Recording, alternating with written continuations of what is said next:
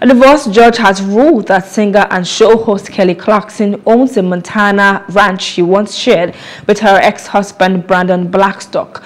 Prior to the ruling and signing off of their divorce, Brandon had been living at the ranch. TMZ has reported that Kelly has been working to kick Brandon off the ranch, but he was not making it easy.